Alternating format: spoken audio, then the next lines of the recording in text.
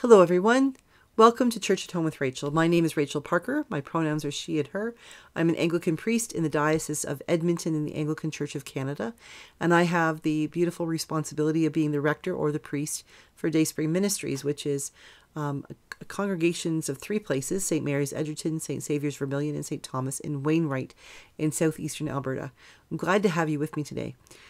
Um, if you've been watching for all, you know that last week I talked a bit about fear um, and the song "Fear is a Liar" and placing, standing in the strength, the strength of God. And yesterday I spoke about a candle and the power of light overcoming darkness. Um, one of the lights in my life is the is the um, devotions that I do every day, and I've used devotions from C.S. Lewis and Madeleine L'Engle and Sarah Arthur and um, day by day I use those and a Joshua DuBois. Um, and this year, um, 2023, I started using this one. It's called Soul Fuel by Bear Grylls. Now, if you don't know who Bear Grylls is, he's a British guy who was in, I believe, the SAS until he broke his back in three places. And he's famous for going around the world and doing wild and crazy things in, in the wilderness. He's even taken a bunch of um, of celebrities and famous people out and taking them on treks into the wilderness for them to face their fears, to learn something about themselves and the world. Um, but he does he does an, an, incredible job of of being very practical in in facing things like climbing Mount Everest and and doing all those things we sort of look at and think you'd be crazy to do those things. The fact is, he is an Anglican and he's a very faithful Christian, and he's supporter of Alpha, which is not a bad program, depending on where you are in your your faith life. If you're just beginning, if you're lots of questions, I would really recommend try checking out an Alpha program because it's not denominational. It's not going to point you into one church or another, but it's going to allow you the opportunity to ask questions. And he was a few years ago. He was a, a spokesperson for Alpha, but he's put together this book, um, very practical devotional. He doesn't have dates on it, which is great. It's just sort of work through it at your own pace. I think it recognizes that most of us, even if we have the best of intentions, um, you know, we skip days or we get caught behind and things like this. So this means I don't have to feel guilty if I miss a day because I just pick it up and continue.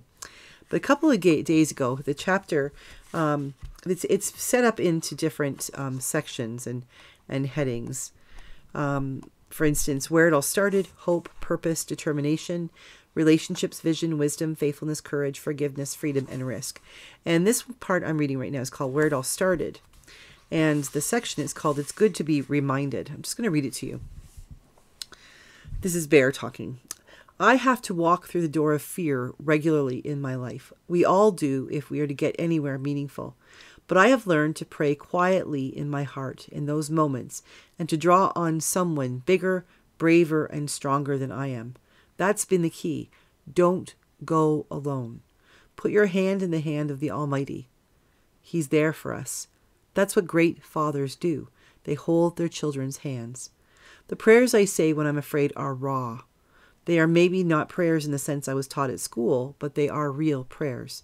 I'm showing God my deepest fears and asking Him to be beside me. I'm asking Him for His help to keep me moving forward. A lot of us try to keep our fears secret, but hurrying them is, is how they grow. Sorry, but burying them is how they grow. When we bring them into the light, they often start to wither, but to bring them out and share them with God or loved ones takes courage. See what the Bible says. Have I not commanded you be strong and courageous? Do not be terrified or dismayed. Joshua chapter 1 verse 20 verse 9. But how do we find that courage? For the Lord your God is with you wherever you go. Again, Joshua verse chapter 1 verse 9. Whatever fear we're facing, remember this, we do not face it alone. The creator of the universe is good. He is beside us, within us, and for us.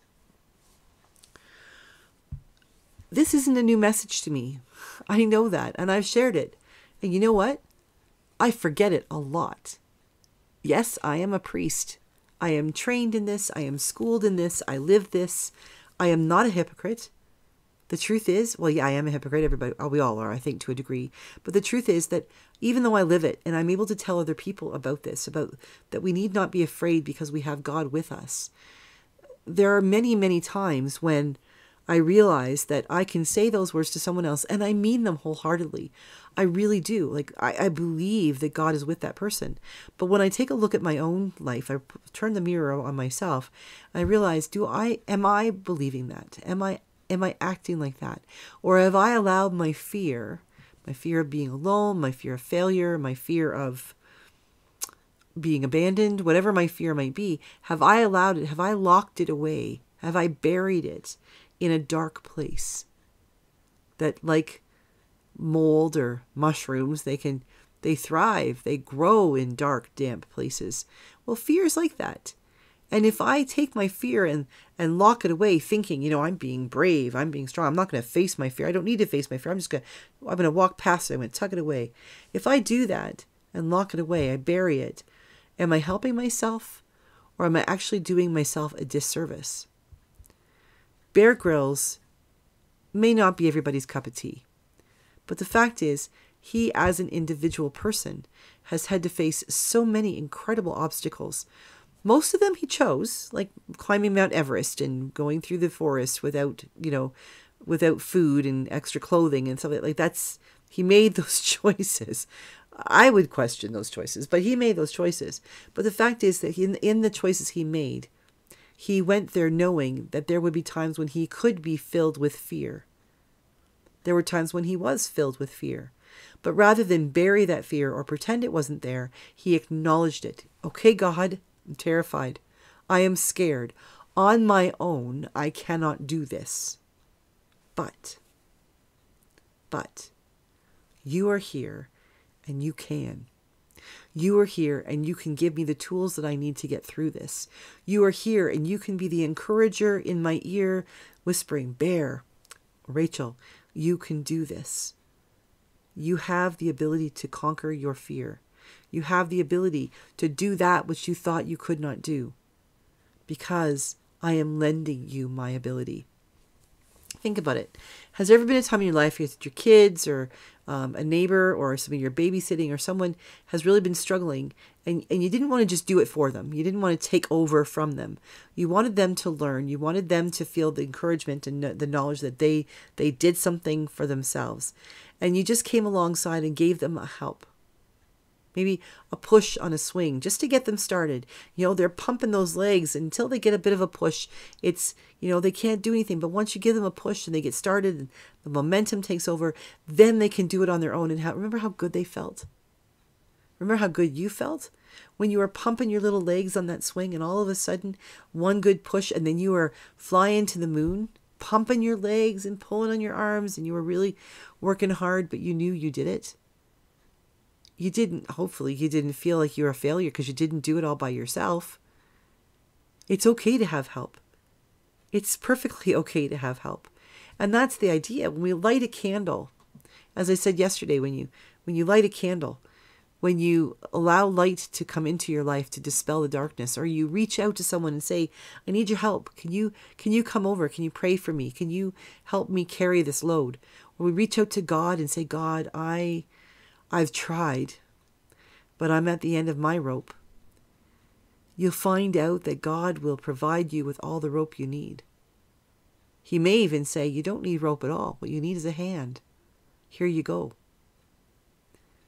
When we allow ourselves to come before God and ask for help, to acknowledge where we are, fearful, sad, overwhelmed, joyful, you know, excited, exhilarated, whatever it is. But when we come to God and say, Here's me, this is what I have to offer, it's an incredible feeling when God says, Well, welcome, me. This is what I have to offer. And it's not a payment plan. It's not a, I'm going to lend it to you for a little while, I'm going to snatch it back. It's a, here's what I have to offer. It's yours for the taking. Let's do this together. Bear Grylls learned a long time ago that he could not do what he was setting out to do originally by himself. He had to have people who trained with him and people who taught him and people who helped take care of him until he learned to take care of himself. And even to this day, he still asks for help. He still hits his knees and says, Okay, God, help me. There's nothing wrong with that. Trust me, Bear Grylls is a man. He is not some you know, mamby pamby person. He's not a weakling. He is a strong man who has faced things that most of us could never even imagine. And if he says it's okay to ask for help and that he actually does ask for help, then who are we to say we shouldn't? Ask for help. Ask someone to bring a candle into your life, to light that candle, to say, I need I need some guidance, I need some help. Don't bury the things that are overwhelming you. You're just going to help them to overwhelm you more. Ask for help. Ask a friend, ask a partner, ask a spouse, ask God. And you might just find the help is a lot closer than you thought. Have a great day. God bless you, and I will see you again tomorrow for Church at Home with Rachael.